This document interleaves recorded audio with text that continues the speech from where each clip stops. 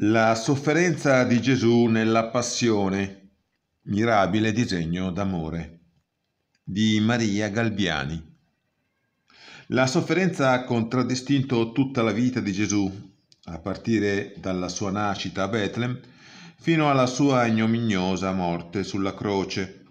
Povertà, disagi, umiliazioni, disprezzi, persecuzioni sono stati presenti fin dal momento dell'incarnazione sono cresciuti durante la sua vita pubblica e hanno trovato il culmine sul Calvario.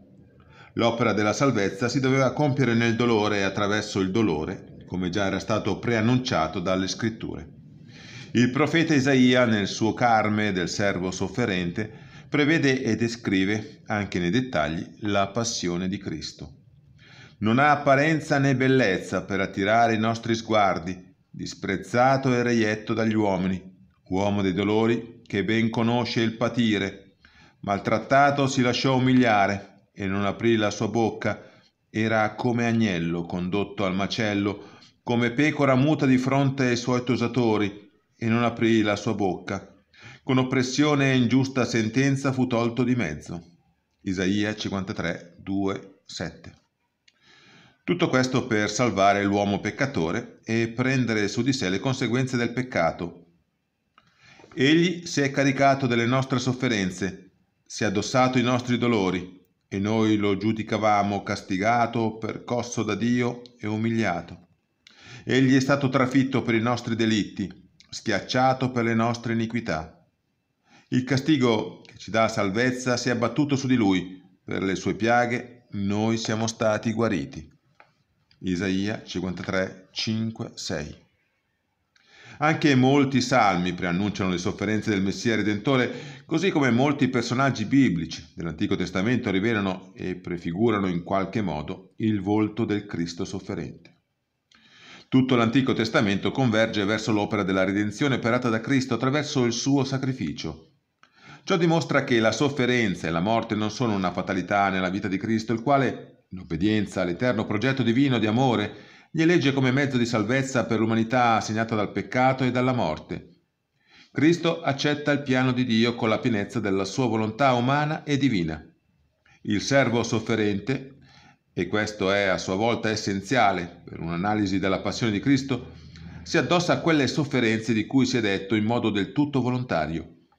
Cristo soffre volontariamente e soffre innocentemente. Giovanni Paolo II, Salvifici Doloris, numero 18. Nel Vangelo diverse volte Gesù esprime la volontà di sacrificare la sua vita per la salvezza dell'umanità in obbedienza al progetto del Padre. Nel discorso sul buon pastore afferma Per questo il Padre mi ama, perché io do la mia vita per poi riprenderla di nuovo. Nessuno me la toglie, io la do da me stesso.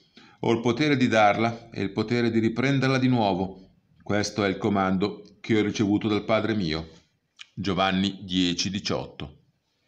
Cristo inoltre soffre come Dio e come uomo ed è in questo senso che dona alla sofferenza e alla morte abbracciati in Lui e per Lui un valore soprannaturale. Lui, uomo Dio, con la sua sofferenza e morte può riscattare l'umanità.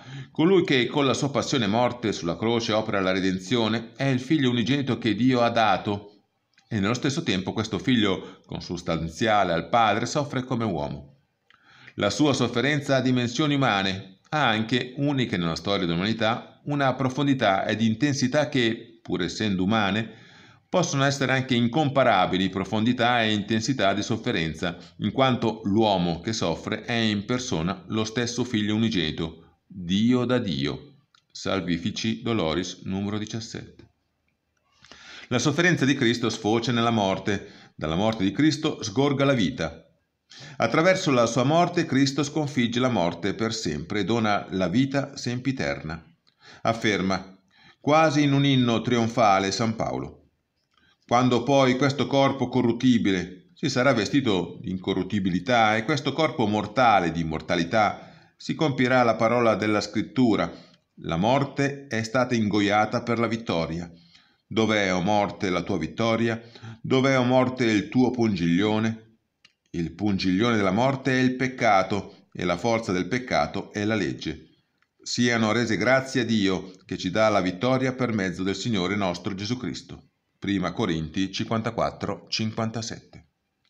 Suggestiva a tal riguardo è un'antica omelia sul sabato santo di Melitoni di Sardi, che mette in evidenza la salvezza e la vita soprannaturale che scaturisce dalla passione e morte di Gesù. Per te, io, tuo Dio, mi sono fatto tuo figlio. Per te io, il Signore, ho rivestito la tua natura di servo.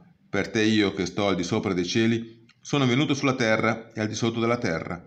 Per te, uomo, ho condiviso la debolezza umana, ma poi sono diventato libero tra i morti. Per te che sei uscito dal giardino del paradiso terrestre, sono stato tradito in un giardino e dato in mano ai giudei, e in un giardino sono stato messo in croce. Guarda sulla mia faccia gli sputi che io ricevetti per te, per poterti restituire a quel primo soffio vitale. Guarda sulle mie guance gli schiaffi sopportati per rifare a mia immagine la tua bellezza perduta. Guarda sul mio dorso la flagellazione subita per liberare le tue spalle dal peso dei tuoi peccati Guarda le mie mani inchiodate al legno per te, che un tempo avevi malamente allungato la tua mano all'albero. Morì sulla croce e la lancia penetrò nel mio costato, per te che ti addormentasti nel paradiso e facesti uscire Eva dal tuo fianco. Il mio costato sanò il dolore del tuo fianco, il mio sonno ti libererà dal sonno dell'inferno. La mia lancia trattenne la lancia che si era rivolta contro di te sorgi. Allontaniamoci di qui. Il nemico ti fece uscire dalla terra del paradiso. Io invece non ti rimetto più in quel giardino, ma ti colloco sul trono celeste. Tali sono i frutti mirabili della passione di Gesù. Ogni sequenza dei suoi dolori ha una funzione salvifica infinita, finalizzata a ricostruire nell'uomo l'immagine e la somiglianza divina deturpata dal peccato e a riaprire per lui le porte del paradiso. Scrive magistralmente Don Dolindo Ruotolo. La passione di Gesù è l'opera mirabile del Redentore, è l'attuazione di un piano sapientissimo. Egli compie e attua un mirabile disegno nel quale gli uomini non sono che la miserabile materia grezza e marcita che egli utilizza. Egli è il nobile trionfatore che entra nel campo desolato dalla morte e tutto tramuta in vita e in gloria immortale. Egli è l'operaio solerte, che consuma la sua giornata nello spasimo atroce nel quale pare sopraffatto e vinto, mentre in realtà trionfa. I suoi dolori sono la sua forza e la sua gloria, perché non sono semplicemente una tempesta che è passata sul suo capo adorato, ma sono i gesti esterni, dirò così, della sua attività sublime.